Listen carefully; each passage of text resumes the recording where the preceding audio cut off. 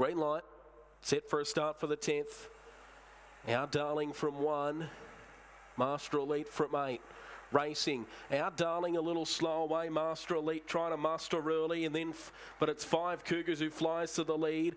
Now coming across Master Elite to second and then our darling to third, followed by Bermuda Ben.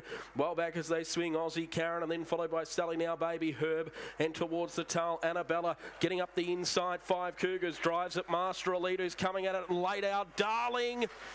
Not much between our darling and Master Elite for mine, leaving that to the judge, and then followed by in third five Cougars. Next back was Herb, Sally Now Baby, Annabella, Bermuda Med, Bermuda Ben towards the tail, and Aussie Karen. 23.50 the time, 23.50 photo here. Between the red dog and the pink dog, our dog.